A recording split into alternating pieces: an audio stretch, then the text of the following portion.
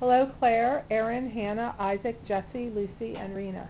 I think that was in alphabetical order. Uh, today we're going to have a demo of carbon or graphite dust. And this right here is my graphite dust. Mr. Meldrum actually made that for me by just using sandpaper and rubbing the lead from a pencil onto the sandpaper and then collecting it. And I think I probably have about a almost a tablespoon and that would probably be enough for a good size uh, drawing. Um, it's something maybe you can do while you're watching a video or TV. Uh, I'm going to just show you a few things up on the top of my paper. I'm going to apply it with a brush. You could apply it with a pastel blender, a brush. You can apply it with your fingers, but I'm going to tell you about what will happen if you do that. You can brush it on with your brush. The paper that I'm using is soft. It's not hot pressed and super coated smooth. Uh, if you try that, you'll only be able to get a very, very light gray. You can build it up. Uh, what I suggest doing is to make your little sketches, say 8 by 10 inches, and go over the whole area. First, you could do a light drawing with just pencil and um, it will show through. I would like you to get at least a 50% um, gray over the whole area where you're going to draw. Uh, if you want to use your fingers, you'll be able to get a much, much darker um, black or gray because of the oil in your fingers will mix with it and you'll actually be making a paint and the oil from your fingers will be the medium. Uh, but then that will be either impossible or hard to remove. So you might want to save that for a dark accent.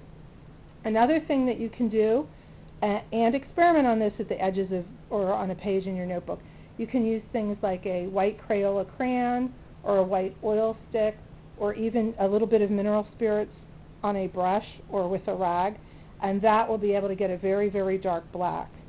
Um, but once again, that would be hard to remove. So you want to experiment with that on just a scrap piece of paper. Uh, once we get our whole area gray, you're going to be first going through and finding the patterns of the light with an eraser. I'm going to be using a regular pencil eraser. You can use and experiment with all sorts of erasers, including the edges of them. And it's possible to get a very um, paintbrush almost feeling with it as if you're doing white paint. Uh, while you're once you get your drawing fairly along, you'll be able to use pen and ink, Sharpie, black acrylic.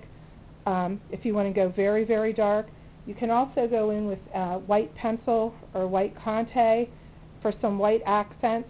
Experiment with that too because you don't want it to start to look muddy. Um, but also, all, it's always great if you have some real white areas, you might want to just leave them white from the get-go if you have some very shiny areas. Now I'm going to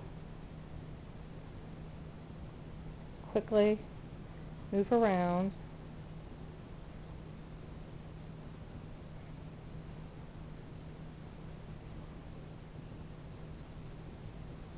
At this point I'm covering over my drawing. I did not go dark enough. Oh, now there I can see some of my lines. I can also see where smudgy fingers were on the page. Um, be aware of that. You might want to, uh, for your finished drawings, make sure that you're using a clean piece of paper that hasn't been gummed up uh, with either your fingers or your doggy or your cat walking across it. You might get little paw prints. Uh, this works a little bit like the uh, CSI fingerprint dusting thing.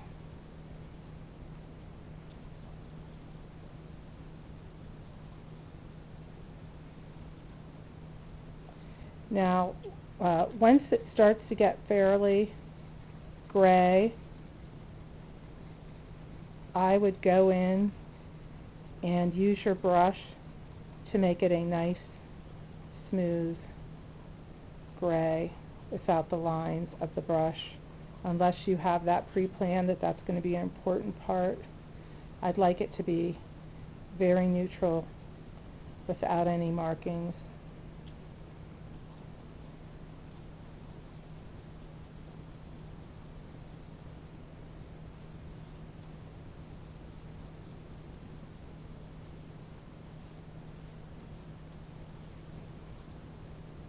This is a nice, I'd say 50% gray on the gray scale.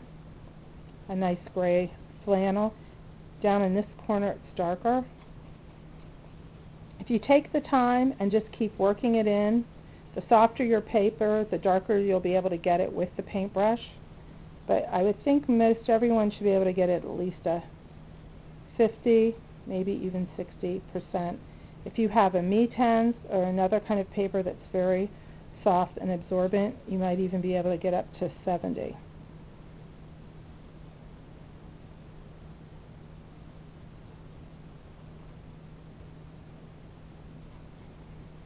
Now, I'm going to show you what happens if you touch it with your fingers.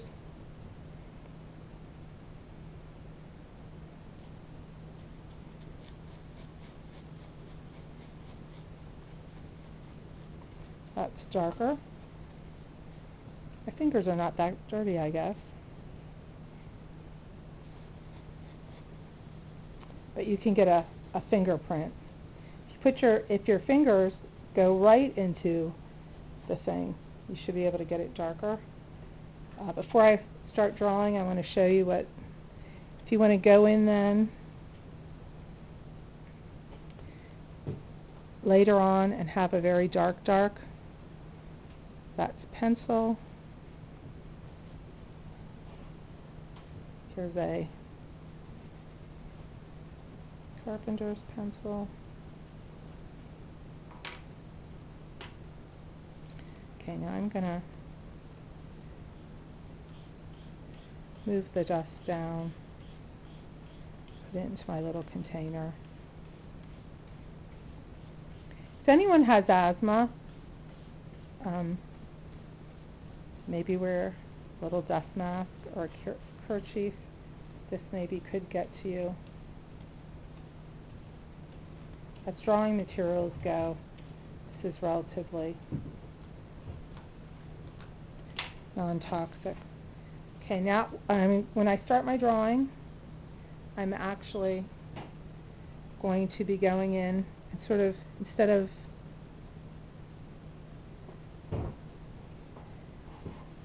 working dark to light, I'm going to go in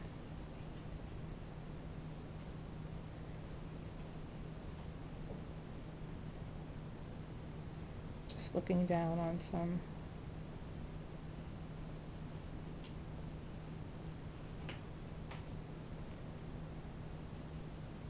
little pictures, etc. And I'm just going to focus on one. Um, once I get the 50%, I'm going to go in and I'm going to try to, this is white, but it has a gray on this side. And you can get a painterly effect. The harder I press, here I'm going to press hard, the whiter it gets. We're getting the light bouncing off of this.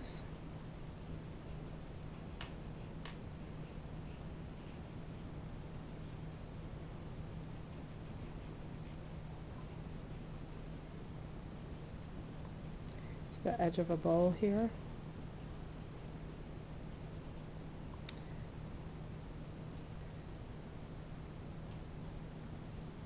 And I would do that all over and think of it as finding like your trail of light. Don't get too detailed in the beginning. Um, then, every once in a while, I'd sweep this off. If you make a mistake, it's very easy to blend an area in if you want to make this grayer. Uh, all the things that I have are sort of ceramic and porcelain. That's something that really lends itself to this. So does portraiture, and I'm going to be uh, posting a portrait, which I think may be done in oil stick, but you also would be able to get a um, similar look. I think you could do a very dramatic still life. I had to have a lot of light here. I think you could do a very nice night drawing, night portrait. Um, is it? I'm Yeah. done? Oh, Did they get that last part? Okay.